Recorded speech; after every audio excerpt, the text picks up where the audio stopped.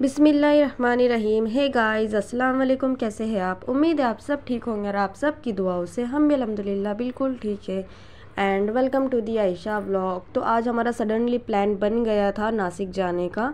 तो एक या दो दिन के लिए ही ये प्लान था। तो हस्बैंड बोले, चलो जाकर आते हैं। तो यहाँ पर हम लोग मतलब निकल गए थे और भूख लगी थी तो रास्ते में थोड़ा सा लंच करने के लिए रुक गए। और ये है क्लिप नेक्स्ट डे की।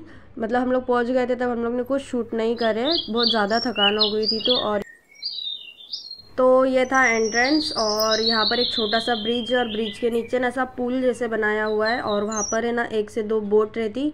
तो अगर किसी को बोटिंग में इंटरेस्ट है तो वो वहाँ पर कर सकते और यहाँ था मिक्की माउस और आयशा ने एंजॉय तो कर ली लेकिन है ना जैसा आयशा का खेलने का टाइम ख़त्म हो गया तो वो मिक्की माउस की ना हवा भी लीक हो गई थी।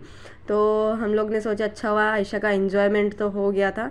और यहाँ पर मतलब बहुत सारी चीज़ें हैं, जैसे सेल्फ़ी पॉइंट है और कुछ एक्टिविटीज़ करने के लिए है गेम्स है बर्ड्स है तो बर्ड्स और जो कुछ भी है वो मैं आपको आगे बताऊँगी। तो फ़िलहाल हम लोग कुछ एक्टिविटीज़ कर रहे हैं यहाँ पर।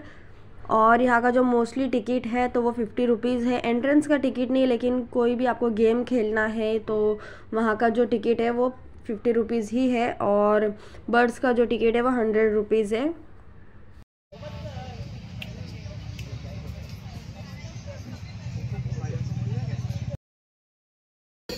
नाव में भी और इधर अंदर जाने के पक्षी हाँ? हाँ बैठ बैठ बैठ। बैठा हुआ तो बड़ा राउंड है। क्या मुंबई छोड़ के उसको? अरे इसमें अगर वो चला था जो खाली ये ये हिलाने का स्टेरिंग बस। ये ये ये ये हाँ, वो स्टेरिंग हिला हाँ और अब यहाँ पर आयशा आकर बैठ गई है कार में और ये रिमोट कंट्रोल है। तो वो एक भैया है तो वो रिमोट से उसको मतलब चला रहे हैं और आयशा बस उसके अंदर एंजॉय कर रही है। इसका टिकट भी है फिफ्टी रुपीज़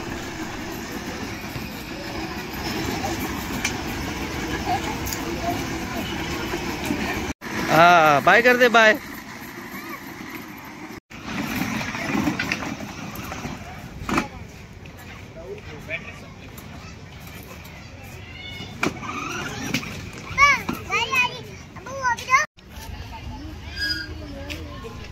तो यहाँ पर एक अंकल बैठे थे और वो बना रहे थे स्केच और माशाल्लाह से अच्छी बना रहे थे, पर हम लोग वैसे किसी ने बनाया नहीं क्योंकि ना? एकदम ऐसा कार्टून कार्टून जैसे लग रहा था। और अब यहाँ पर आ गए हम, इसका नाम है पक्षंची वाड़ी और ये इसका टिकट है हंड्रेड रुपीज़ तो यहाँ पर है ना बहुत सारे बर्ड्स हैं और जो कि मतलब अलग अलग कंट्री से है। तो माशाल्लाह से उसको देख के बहुत अच्छा लग रहा था क्योंकि ऐसे बर्ड्स है ना ज़्यादा देखने मिलते नहीं है और आयशा तो बहुत ज़्यादा खुश हो रही थी।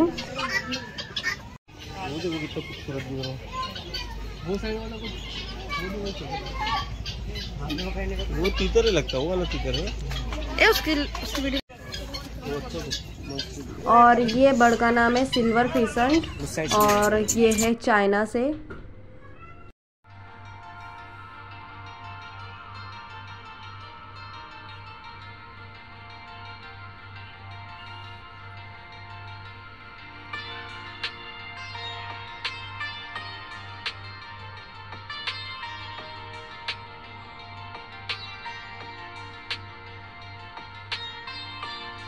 ये है मुर्गा और इसको देख के हम लोग लिटरली इतना ज़्यादा हंस रहे थे क्योंकि इसके बाल जो है ना तो पता नहीं कैसे अजीब ही किस्म के इसके बाल है, पूरे लंबे लंबे और आगे से पूरा उसकी शक्ल ही छुप जा रही थी।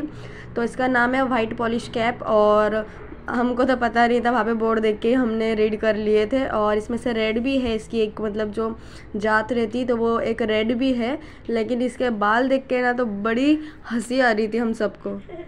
और ये है यूरोप से और इसकी जो मतलब लाइफ स्पैन है तो वो रहती सात से आठ साल तक।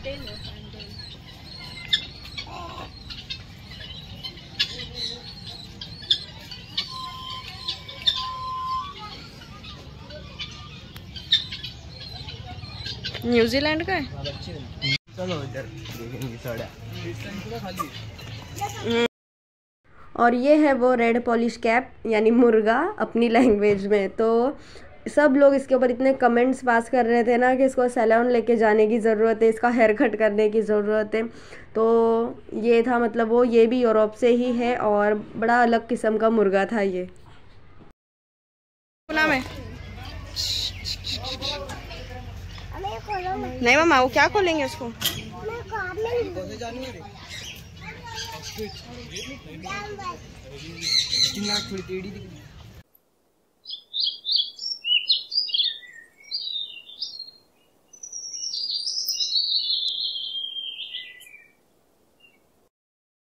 और ये पिंजरे में तो सब बर्ड्स थी और इसके बाद है ना, कुछ फ्लावर का डेकोरेशन वगैरह था यहाँ पर और ऐसे लायन, टाइगर सब ऐसे बने हुए थे तो यहाँ पर मतलब जो पब्लिक है वो सेल्फी भी ले सकती है।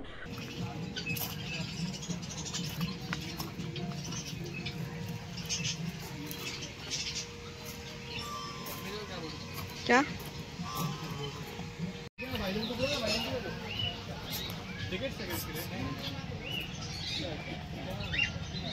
तेरी अम्मी का है। और यहाँ पर चूहा था तो यहाँ पर है ना हंसने इतना ज़्यादा ज़ोर से डर गया क्योंकि है ना वो डायरेक्ट अटैक करने आ गया था। अच्छा वो अंदर था नहीं तो हंसने इनको काट लेता था। तो अब यहाँ पर ये था सेल्फी पॉइंट के लिए बटरफ्लाई बनी हुई थी आर्टिफिशियल और ये था सामने ऑस्ट्रिच तो ये घूम रहा था, टहल रहा था अपनी अपनी जगह पर और हमने बटरफ्लाई के पास में बहुत सारे पिक्चर्स क्लिक किए, वो मैं आपको आगे लगा कर बताऊँगी। और यहाँ था ये इगुआना जो कि बहुत ह्यूज था, बड़ा था और काफ़ी डेंजर लग रहा था, लेकिन फिर भी डेयरिंग करके हम लोग ने इसको हाथ में लिए। तो आप आगे मेरा रिएक्शन देखना। ला मिलू।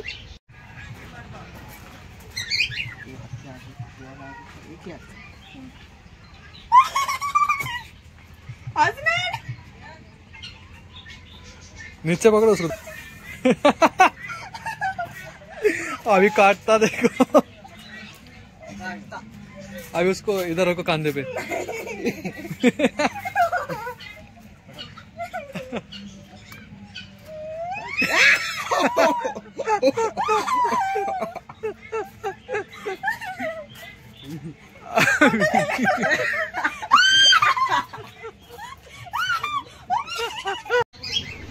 यहाँ पर मेरी टर्न हो गई थी और मैं बहुत ज़्यादा ज़ोर ज़ोर से चिल्ला रही थी, मुझे हँसी भी आ रही थी और डर भी लग रहा था और यहाँ पर हस्बैंड की टर्न थी और हस्बैंड ने एकदम नॉर्मली उसे पकड़ लिए थे और मुझे पूरा ऐसा फील हो रहा था, वो इगवाना पकड़ के कि जैसे कि मैं कोई खतरों के खिलाड़ी वाले शो में आ गई और यहाँ पर फिर बर्ड्स थी जो कि माशाल्लाह से बहुत प्यारी थी, हम लोग ने उसको दाना डाले और वो पूरा ऐसे सर पे, हाथ पे ऐसे आके वो दाने खा रही थी तो बहुत अच्छा लग रहा था और हसनैन के तो सर पर बैठ गई थी।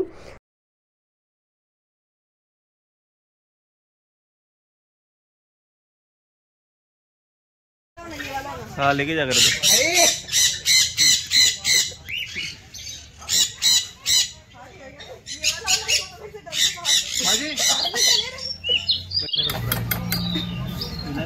तो हमारा पूरा इन्जॉयमेंट हो गया था और उसके बाद में हम लोग को लग गई थी भूख तो हम लोग आए थे यहाँ पर मिसल खाने के लिए। तो यहाँ पर थी वो लोग की मतलब मिसल, उसके साथ में कुछ तरी थी।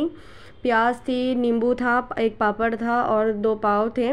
तो माशाल्लाह से इसका टेस्ट बहुत अच्छा था। तो हम लोग ने पहले ये एंजॉय किए और इसके बाद है ना यहाँ की जो फ़ेमस है, वो है पेरू की आइसक्रीम और पेरू की लस्सी। तो आप जब भी यहाँ पर विज़िट करो ना तो प्लीज़ यहाँ पर की ना जो लस्सी और आइसक्रीम है ना ज़रूर खाना, क्योंकि अगर ये नहीं खाए तो कुछ मज़ा नहीं आएगा फिर यहाँ का, क्योंकि बहुत अच्छा टेस्ट था उसका। तो मिसल हम लोग ने खा लिए थे और उसके बाद में यहाँ पर हम लोग ने ऑर्डर करे थे लस्सी और आइसक्रीम जिसका टेस्ट बहुत ज़्यादा अच्छा था। और इसके साथ में ना वो नमक मिर्च वाला मसाला भी देते तो आप आइसक्रीम और लस्सी के ऊपर डाल के इसको खा सकते इससे एक नंबर टेस्ट लगता है उसका। और, और अगर आपको इसके रेट्स देखना है तो मेन्यू कार्ड आपके सामने है आप इसके ऊपर रेट्स भी इसके चेक कर सकते हैं। और इसके बाद हम लोग ने खाए पान और यही मेरा ब्लॉग एंड होता है। और बहुत ज़्यादा हम लोग ने एंजॉय किया। अगर व्लॉग पसंद आया तो please do like share and subscribe तो मिलते हैं सीधा मुंबई के व्लॉग्स में।